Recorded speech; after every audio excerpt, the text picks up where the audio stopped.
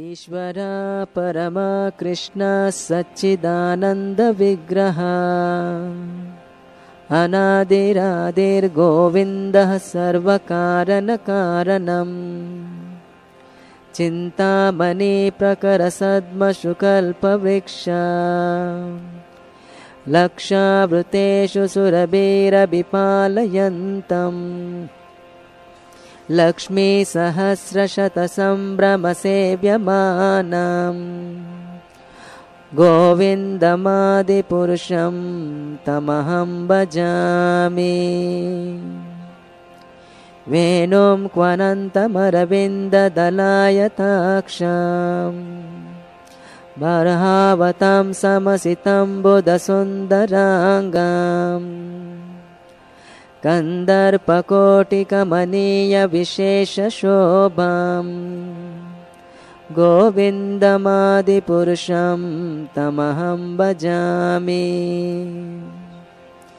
आलोलचन्द्रकलसद्वनमाल्यवंशी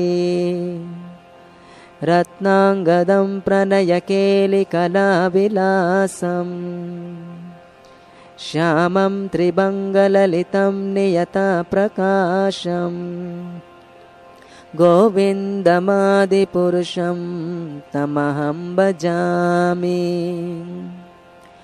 अङ्गानि यस्य सकलेन्द्रियवृत्तिमन्ति पश्यन्ति पान्ति कलयन्ति चिरं जगन्ति आनन्दचिन्मयसदुज्ज्वलविग्रहस्य। गोविन्दमादिपुरुषं तमहं भजामि। अद्वैतमच्युतमनादिमनन्तरूपम्। आद्यं पुराणपुरुषं नवयौवनं च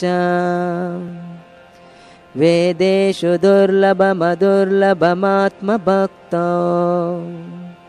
गोविन्दमादिपुरुषं तमहं भजामि।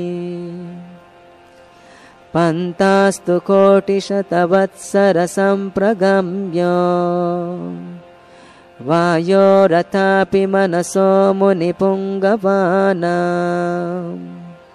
सोऽप्यस्ति यत्प्रपदसिन्म्यचिन्ततत्त्वे गोविन्दमादिपुरुषं तमहं भजामि। एकोऽप्यसौ रचयितुं जगदण्डकोटे। यच्चक्तिरस्ति जगदण्डचयायदन्तः अण्डान्तरस्तपरमानुचयन्तरस्ताम् गोविन्दमादिपुरुषं तमहं भजामि। यद्भावभावितधियो मनुजस्तथैव। सम्प्राप्य रूपमहिमासनयानभूषः सुक्तैर्यमेव निगमप्रतिथैस्तुवन्ति गोविन्दमादिपुरुषं तमहं भजामि। आनन्दचिन्मयरसप्रतिभाविताभिस्ताभिर्य एव निजरूपतया कलाभिः गोलोक एव निवसत्यखिलात्मभूतो। गोविन्दमादिपुरुषं तमहं भजामि। प्रेमाञ्जनच्चुरितभक्तिविलोचनेन सन्ता सदैव हृदयेषु विलोकयन्ति यं श्यामसुन्दरमचिन्त्य गुणस्वरूपा गोविन्दमादिपुरुषं तमहं भजामि। रामादिमूर्तिषु कलानियमेन तिष्ठा नानावतारमकरोद्भुवनेषु किन्तु कृष्णः स्वयं समभवत् परमः पुमान्यो। गोविन्दमादिपुरुषं तमहं भजामि। यस्य प्रभा प्रभवतो जगदण्डकोटि। कोटिष्वशेषवसुधादिविभूतिभिन्ना तद्ब्रह्मनिष्कलमनन्तमशेषभूता गोविन्दमादिपुरुषं तमहं भजामि। माया हि यस्य जगदण्डशतानि सूते। त्रैगुण्यतद्विषयवेदवितायमाना सत्त्वावलम्बिपरसत्त्वविशुद्धसत्त्वा गोविन्दमादिपुरुषं तमहं भजामि। आनन्दचिन्मयरसात्मतया मनःसो यः प्राणिनां प्रतिफलं स्मरतामुपेत्य।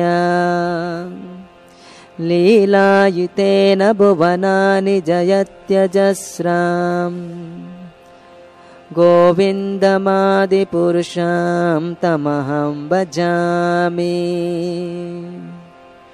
गोलोकनाम्नि निजधाम्नि तले च तस्य। देवी महेश हरिदामसुतेषु तेषु ते ते प्रभावनिचया विहितश्च येन गोविन्दमादिपुरुषं तमहं भजामि।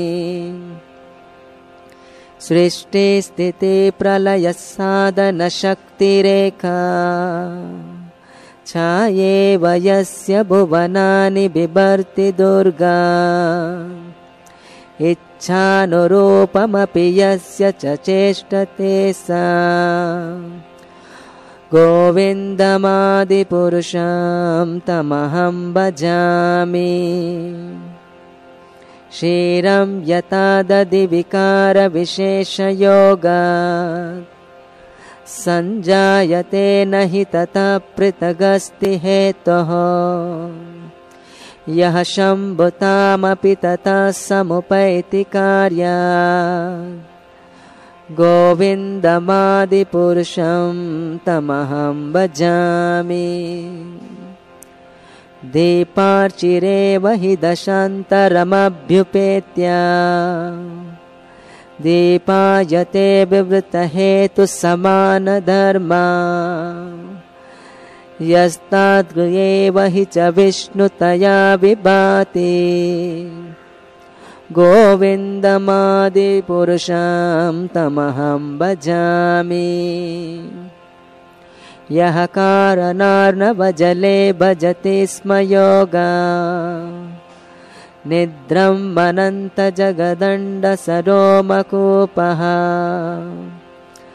आधारशक्तिमवलम्ब्य परं स्वमूर्ति गोविन्दमादिपुरुषं तमहं भजामि। यस्यैकनिश्वसि तत्कालमथावलम्ब्य। जीवन्ति लोमविलज जगदण्डनाथः।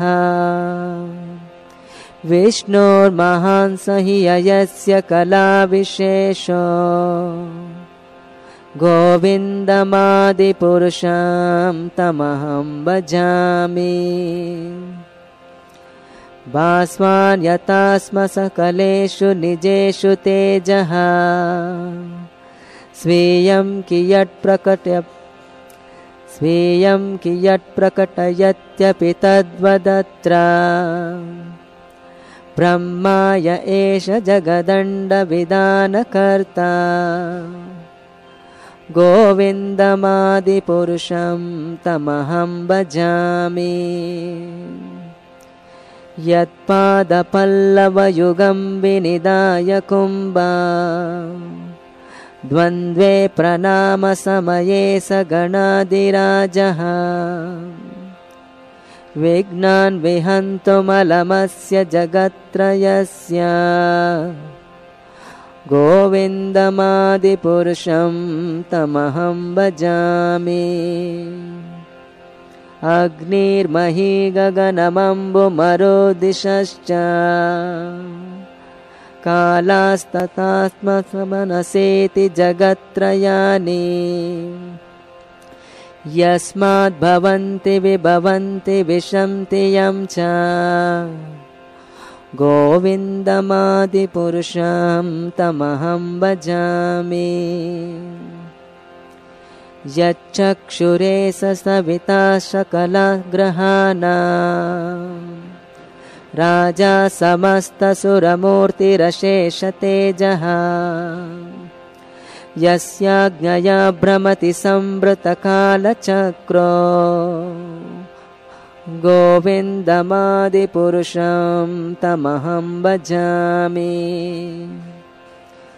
यस्त्विन्द्रगोपमतवेन्द्रमहसो यस्त्विन्द्रगोपमतवेन्द्रमहो स्वकर्मा बन्दानुरूपफलभाजनमातनोति कर्माणि निर्दहति किन्तु च भक्तिबाजाम् गोविन्दमादिपुरुषं तमहं भजामि। यं क्रोधकामसहजप्रणयादिभीति। वात्सल्यमोहगुरुगौरवसेव्यभावे। सञ्चिन्त्य तस्य सदृशीं तनुमापुरेते गोविन्दमादिपुरुषं तमहं भजामि। श्रेया कान्ता कान्ता परमपुरुषकल्पतरवो द्रुमा भूमिश्चिन्तामणिगणमयितोऽयममृता कथागानं नाट्यं गमनमपि वंशे प्रियसखी चिदानन्दं ज्योतिः परमपि तदास्वाद्यमपि च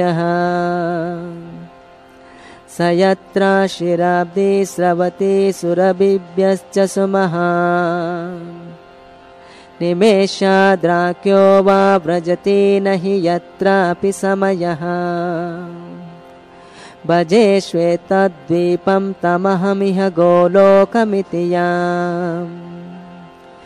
वेदन्तस्ते सन्तः शितिविरलच्चारः कतिपये